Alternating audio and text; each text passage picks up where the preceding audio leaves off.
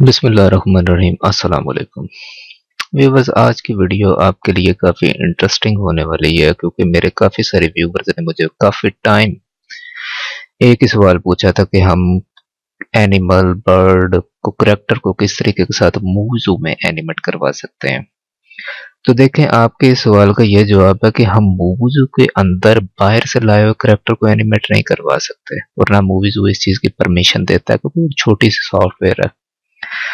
लेकिन ये वो सॉफ्टवेयर है जिसका नाम थ्री डी मैक्स है। इसमें आप किसी भी करेक्टर को एनिमेट करवा के मूवजू में इजीली विद एनिमेशन इंपोर्ट करवाते हैं। यही वो सॉफ्टवेयर है। और इसके अलावा मेरे काफ़ी सारे व्यूवर्स हैं जिन्होंने मुझे वो काफ़ी सारे लिंक भेजे थे। पता नहीं वो कौन सा एक जोक्स चैनल है। वो भी कुछ छोटे मोटे जोक्स बनाता है तो वो भी इसी सॉफ्टवेयर को यूज़ करता है। इसी में ही एनिमेशन होती है, क्योंकि वो थ्री सॉफ्टवेयर यूज़ कर रहा है तो वो यही है। इसी में वो करेक्टर को एनिमेट करवाता है और सारा कुछ करता, करवाता। इसमें आप किसी भी करेक्टर को खुद से डिज़ाइन कर, जैसे कि ये आप देखें, ये वाली चिड़िया जो है, ये भी थ्री मैक्स में डिज़ाइन हुई है। मतलब खुद बनाई हुई है। तो अभी मैं आपको ये बताने वाला हूँ कि आप किस तरीके के साथ दूसरा अपने करेक्टर को थ्री मैक्स में एनिमेट करवाएँगे। और उसे जाके उधर मूवीज़ों में इंपोर्ट करवाएँगे। यहाँ पे मैं ज़्यादा लंबी चौड़ी एनिमेशन नहीं बनाने वाला। जस्ट छोटी सी एनिमेशन में बनाऊँगा। आपको ये दिखाने के लिए कि वाकई में ये वाले करेक्टर उधर जाके एनिमेट करते हैं। और इस हिसाब से अगर ये एनिमेट करेगा तो फिर कोई भी करेक्टर एनिमेट कर सकता है। आप कोई भी करेक्टर बना के ले जाए और जाके उसे एनिमेट इधर से एनिमेट करवाएँ, उधर ऐड कर ले। तो यहाँ पे आपने करना कुछ इस तरीके के साथ है कि वैसे तो आपको ये शायद सॉफ्टवेयर इतनी अच्छी नहीं लगती है क्योंकि ये थोड़ी बड़ी है लेकिन इसकी मदद से ही आप उसमें काम कर सकते हैं अदरवाइज़ नहीं। ये आ, मेरे पास एक बर्ड है तो इस बर्ड को मैं सिर्फ़ जस्ट आपको बताने के लिए इसका मैं कुछ भी वैसे नहीं हिलाने वाला इसके पर शर ऐसे रहने देते हैं क्योंकि अगर मैं परों को हिलाऊँगा तो इसके लिए काफ़ी सारी इधर पहले करने बोन्स इसमें ऐड करना पड़ेगी और ये वीडियो घंटा डेढ़ लंबी हो जाएगी। यहाँ पे, लेकिन आप प्लीज़ रिक्वेस्ट है इस वीडियो को ज़रा ध्यान से देखिएगा। अगर फिर भी आपको समझने लगे तो फिर कमेंट तो कहीं गए नहीं। उसमें पूछ लीजिएगा मुझे। यहाँ से आपने सिंपली ये आपके पास टाइम लाइन है थ्री मैक्स की हंड्रेड फ्रेम्स की है इस वक्त।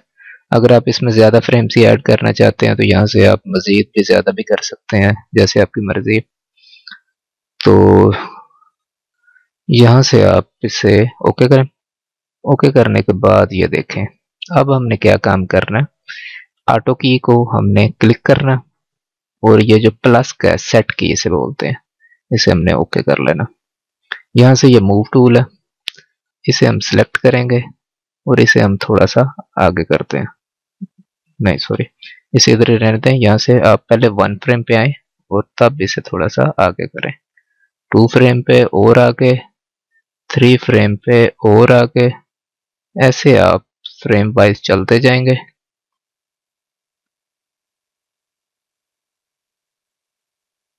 ये देख, आप चलते जाएँ चलते जाएँ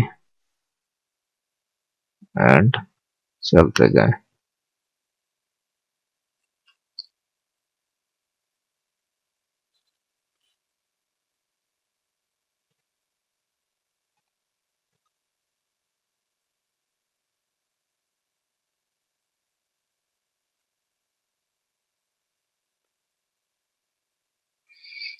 यहाँ से आप इसे और आगे की तरफ़ कर सकते हैं।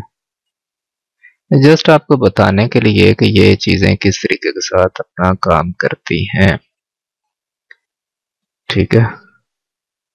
यहाँ से आप इसे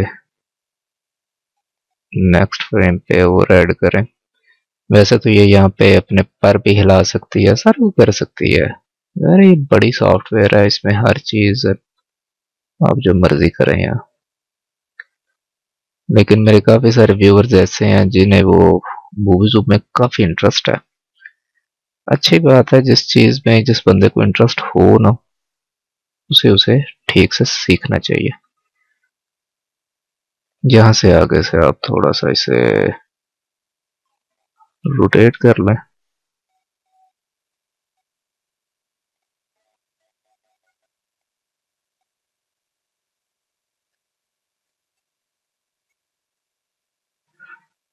यहाँ से हम देख रहे हमने किया क्या अब तक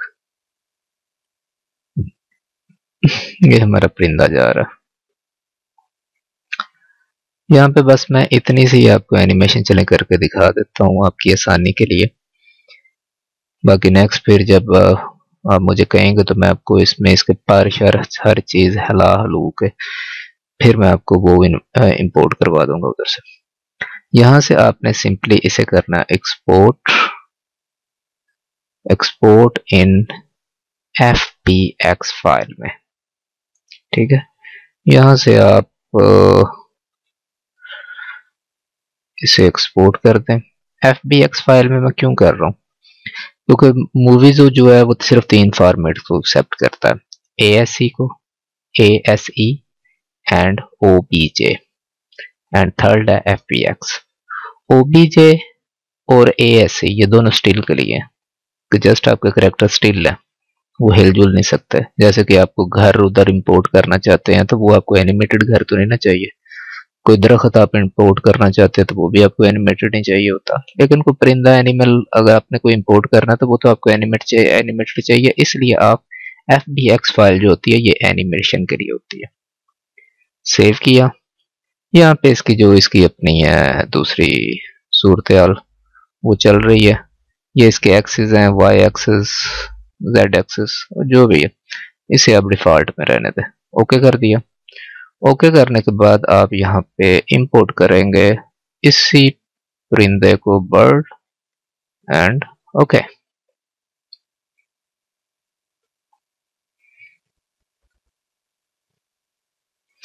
नहीं जी, ये आपका वो परिंदा ये खड़ा आपको नज़र आ रहा होगा। यहाँ से आप इसे देख सकते हैं। किधर है ये? ये, ठीक है जी। इसके ऊपर आपने राइट क्लिक करना है एडिट और ये इसकी कुछ प्रॉपर्टीज़ आपको नज़र आ रही होंगी। ये देखें, इसका स्केल हम बड़ा नहीं कर सकते सारा कुछ। ये आपको चीज़ें इसकी कुछ नज़र आ रही होंगी। यहाँ से आपने राइट क्लिक करके इसके चले जाना है प्रिपेयर में। प्रिपेयर के बाद प्रॉपर्टी प्रॉपर्टी में यहाँ पे लिखा हुआ नॉट एनिमेटेड इसे आप कर दें. डायरेक्ट डायरेक्ट करने के बाद यहाँ से आप स्विच पे आ जाएँ. और अब आप अपने की फ्रेम को, वो जी, आपका परिंदा वो जा रहा है. वो दूर. ठीक है? आपको नज़र आ रहा होगा, वो जाता हुआ. ठीक है जी? वैसे तो अदरवाइज़ आप चाहे तो आप इसे नीचे भी कर सकते हैं।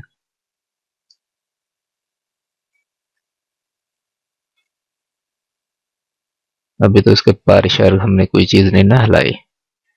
लेकिन नेक्स्ट जब हम इसकी ढंग से बनाएँगे ना एनिमेशन तो फिर आपको पता चलेगा कि इसकी एनिमेशन कितनी अच्छी होती है सॉफ्टवेयर में।